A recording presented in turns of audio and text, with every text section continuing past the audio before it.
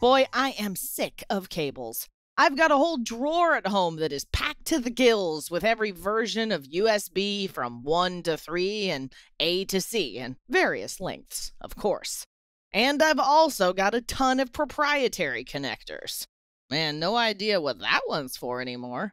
Huh. Wouldn't it be great if everything was just wireless already? I'm definitely going with Bluetooth for my next design. I know, I know, I hear you. Bluetooth has a checkered past for many of us. We were traumatized by spending hours trying to get stuff to pair, and then talking on the phone with our brand new headset, and then the music player takes over and our mom gets an earful of that one song. Oops. But Bluetooth has come a very long way since then. Range has gone up, power has gone down, bandwidth has increased, and there's even mesh. Adding Bluetooth to your next design is not just smart, it's practically expected at this point. Hi, I'm Amelia Dalton, host of Chalk Talk. Today we're going to look at a bunch of cool solutions that make it easy to add the latest Bluetooth capabilities to your next design. My guest is Mark Beecham from Silicon Labs, and we're going to do an overview of Bluetooth capabilities and solutions that will help you ditch those cables in your next design once and for all. And before we get started, don't forget to click that link. There you can find even more information about Bluetooth solutions from Silicon Labs. Hi, Mark. Thank you so much for joining me. Glad to be here. So, Bluetooth is taking center stage in this episode of Chalk Talk, but there have been so many advances in the world of Bluetooth lately. I'm not sure exactly where we stand today. So, Mark, can you walk me through all of the different specifications and applications you're seeing today? Absolutely, you're correct. There's been a lot of advances in Bluetooth since Classic. So we've come a long way. The SAM of applications that Bluetooth can cover has grown so much. So I just want to kind of go through it and break it down on where we stand. And depending on what device you're making, you care about some of these new features that have recently been added. So starting with one of the bigger updates since Classic was Bluetooth 4. And I think the big one here was Bluetooth Low Energy. So before, Bluetooth was pretty limited to audio. That's kind of where Classic found its home. But when Bluetooth Low Energy came out, it really changed how it could be used. You're able to sleep longer, wake up faster, have the connection for a shorter amount of time. And we're talking orders of magnitude here. So the battery life that you're saving is incredible here. And it really opened up a lot of applications, especially those on a coin cell. So this was released in 2010, 2011. And it's not a coincidence that right after that, one of the really popular Bluetooth tags came out that you know you put on your keys so you can never lose it. That application was really only opened up because of BLE, and so now all these other battery powered applications on Bluetooth, like uh, fitness wearables, really have exploded since that release. So then Bluetooth kind of had that. It went quiet for a little bit, and then a big update with Bluetooth 5 came in 2016, and so this added three new features. One is double the data rate or double the throughput by adding a 2 megabits per second PHY. And there's two good use cases for this new feature. I put agricultural here, but really um, it encompasses anything that takes a lot of data throughout the day. So if you have something like an environmental weather station uh, that's taken, you know, soil temperature, moisture, sunlight, wind, all that stuff, and it's just collecting it and collecting it all day, and then it connects maybe once a day or maybe once a week and just dumps all of its data. Having more throughput means that takes a short amount of time, which is very useful. Another big thing, which doesn't really have a specific application, is the over the air update impact of this. So I don't know about you, but I bought a Bluetooth connected home device recently. And the first thing it does when you power it up and connect it to your phone is this fetching update. And you just kind of sit there for a while and wait for it to be done. And so I think to improve the consumer use case of that, because no one wants to sit there with their new device while it updates, you can send that firmware image a lot faster with that new PHY setting. The next thing that it offered was four times the range. So we have these lower sensitivity, lower throughput settings now with Bluetooth 5. And one of the limitations with Bluetooth, I'm sure in the early days we've all experienced this, is if you're walking from you know the corner room in your home to a different room or maybe the garage even, you're going to lose your headphones or it's going to cut out. And this really solves that. Uh, it also helps with penetration here. So every building layout is a bit different. And building automation has been relying on different protocols because of the penetration and the range you get. Now, with this Bluetooth 5 update, we're seeing a lot of building automation applications come up trying to use Bluetooth, uh, like smoke detectors, can finally have the range to talk to whatever hub or gateway is across the building. That was a big update. And then eight times the configuration. So this one's a little nuanced. It added a lot more channels and it added a lot more data that you could advertise.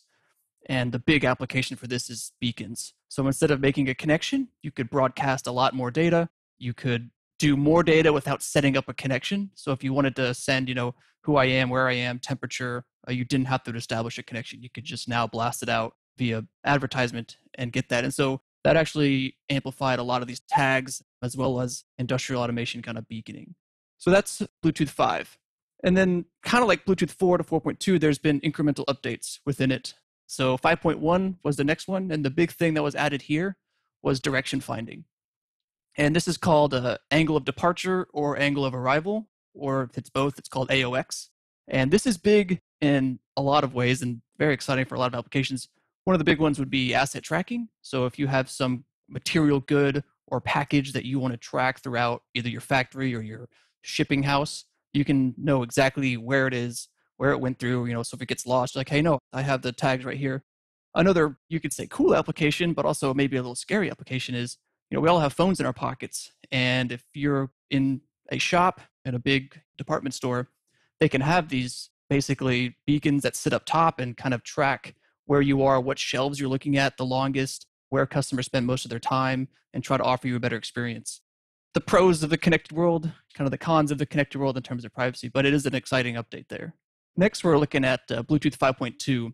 And this actually went back to some of the audio features and tried to enhance it. And the cool thing here is it's called isochronous channels. And so there's two cool use cases for this. One is I don't know if you've ever had this, but you have your earbuds on and the audio gets slightly out of sync. It's happened to me a few times and it's just a little bit, but it's noticeable. Now with this, you can transmit data. It more tightly controls the timing of parallel connections. And so that's good for either earbuds or two sets of headphones. And you know one use case that's really neat is say you and your spouse want to you know watch some tv late at night but your children are asleep you don't want to wake them up. Well your smart tv can now connect to two headphones synchronize the audio data and you can watch you know your favorite show that way with this new feature. So that's pretty exciting there. Now bluetooth isn't the only protocol. I don't want to say there's competing protocols for bluetooth but there's others that are out there uh, and there's others on the same band or on different bands. So there's also 2.4 gigahertz proprietary and this is good if you own both points. And the paradigm example of this is a wireless mouse. You know, the wireless mouse company ships the mouse with the little USB dongle. They know exactly what data is going to be sent. They know their battery life target, all that stuff. So they control both. They don't really need to follow a standard. They kind of just made their own. The volumes dictated it. So that can be a good choice for applications like that. Then you have sub gigahertz. So it's on a different band. And the benefit to subgig is just power and penetration, right? It goes a lot further, penetrates a lot further. Uh, and the good example of this is a garage door opener, right? I want to be able to open my garage door when I turn the corner on my street, not when I'm 10 meters away. So that's been sub gigahertz for almost its entire lifetime. And then I don't want to turn this into a BT mesh discussion, but BT mesh is surely a very exciting update that we've been working on. And so the big application for this is smart home light bulbs. And the reason for that is all the mesh protocols that are out there today have, I would say, one big limitation, and that's accessibility. They're all kind of a closed system to the user. So if I install all the light bulbs on one of the popular mesh protocols, it has to go through a gateway. It has to go through something to transform it either to the cloud so that I could get it on my phone or to Bluetooth so I could connect to it on my phone. BT Mesh is trying to solve that. It's trying to bring accessibility into the mesh world.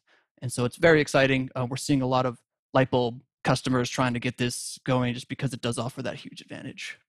Yeah, I've heard about that as well. So, if I'm looking to get started on my own Bluetooth design, what kind of solutions does Silicon Labs offer? So, we have, I would say, two big types of solutions. And one is, you know, the easier gateway starting point, which would be the modules. And the others are kind of the more embedded, intensive solutions, uh, the SoCs or system on chip. We'll start with the easier to use parts on the modules. So these are pre-certified. You have all the BOM components on there that you need to just set up a connection. And these are great for low volume applications, or if you have limited development time, you can just bolt this on. You know, in the early days of Bluetooth, modules really took off because people were just bolting modules onto their smoke detectors or in their industrial process to track it. So it's very easy to get started. We offer a really easy to use API. So they come in two flavors. One is a PCB module. So it's all the components soldered down to a PCB with the antenna on it as well, shielded and pre certified. So you can just plop that down. We also offer it in system in package, otherwise known as a SIP. kind of looks like a QFN package almost, and it's all of the components you need in a much more compact form. Some are in die form as well, just to save space. Uh, and so if you have a really space limited application, like if you were making a smart outlet, space gets pretty tight in there, you know, if you have with all your switching components and you don't want big Bluetooth module taking up too much space. So the SIP may be a great solution for that. So that's kind of the entry point there, I would say. And now if you wanted to do, you know, a full-on development for a Bluetooth design, especially if you're getting in high volumes or you're ultra space constrained, we have the SoCs. And the SoCs come in two different generations. The first generation we call Series 1, and those are the two on the left. And then we have our next generation where the first two are right there. We're, you know, in the middle of this generation on Series 2, rolling out more and more as time goes on. So when you look at generation 1, like the BG12 or the BG13, these are full feature, big, powerful MCUs with a really strong radio on it as well. So these have high output power, 20 dBm. Um, they can support Bluetooth and sub gigahertz. And so what's cool about that is, you know, garage doors, like I mentioned, have been proprietary sub gigahertz for so long.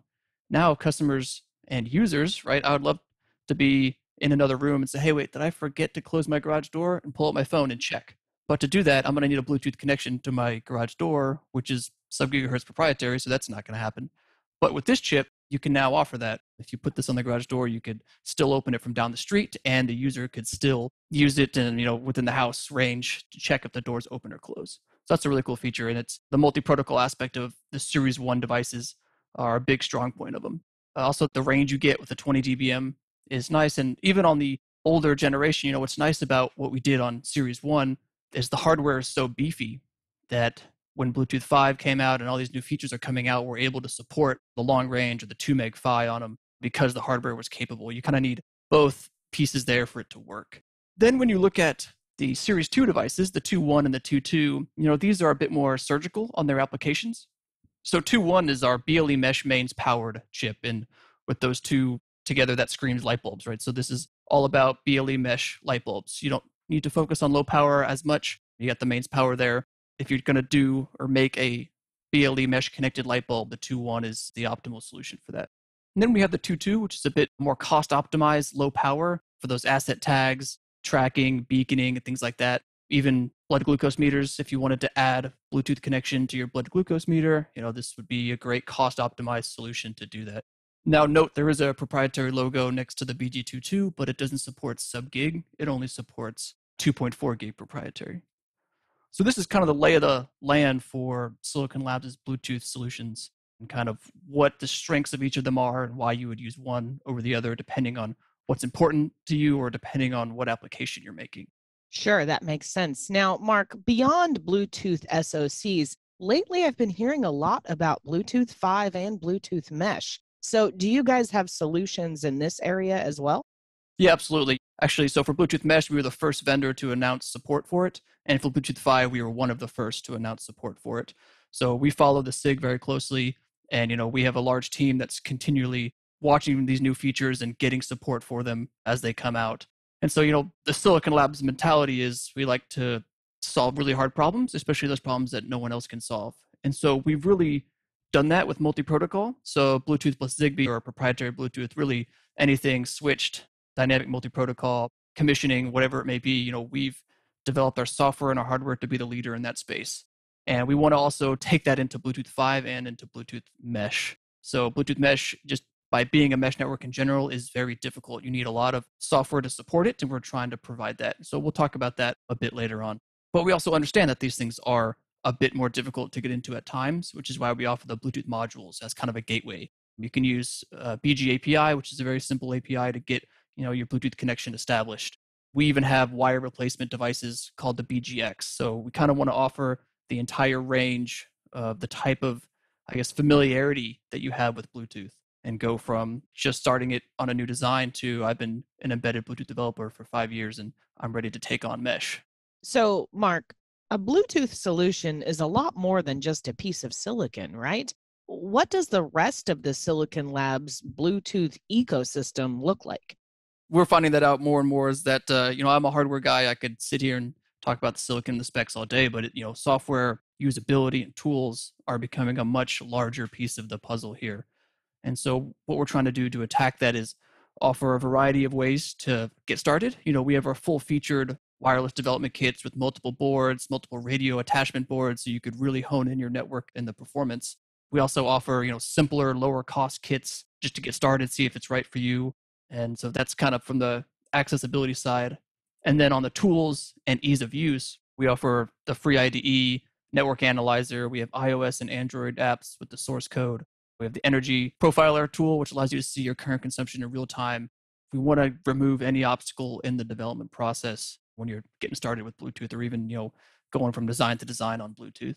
And I would say, you know, the most important part of this is the hardware and the software have to be there to support whatever it is that you want to do. And Silicon Labs has our own in house developed stacks that we continually update, that we put a lot of effort into. And I would just say the breadth of feature support of our hardware and our software are pretty extensive. So let's talk a bit more about the software. Great, let's do that. Now, can we dig into the software side of things? I know that connectivity is an important part and can be kind of tricky in software, right? Correct. And so, you know, if you just look at all the Bluetooth features, there's a lot of different levels of what can be done, what features you need to do certain, you know, long range or low energy, things like that. And we've tried to just cover our software support to just cover a large range to hit all of these aspects. You know, if you want to do mesh, you're going to need the mesh features within the Bluetooth stack, which we can support. If you need to work with Apple HomeKit, that's something that we offer as well. If you need coexistence, that's a feature that we've built in. The time that the embedded person is spending on software is just growing. There's just more from the top cloud level all the way down. And so we're just trying to offer as many features so you don't get surprised down the road that oh your stack doesn't support this so therefore you know i can't take advantage of the new 2 meg PHY so now i can't get the throughput that i need and this kind of ruins everything so with the in-house developed stack that's constantly updated and you can even request new features if there's something that you know we don't offer we always have a system to just continually feed in new features to our software stack Excellent. Well, Mark, I think that's all I have time for today. Thank you so much for joining me. Thanks for having me. Appreciate it. And before we go, you didn't forget to click that link, did you? There you can find even more information about Silicon Labs Bluetooth solutions. For Chalk Talks, I'm Amelia Dalton from eejournal.com. For more Chalk Talks, head on over to the Chalk Talk section of EE Journal. You can't miss it, it's right across the top. Or head on over to YouTube, youtube.com slash eejournal.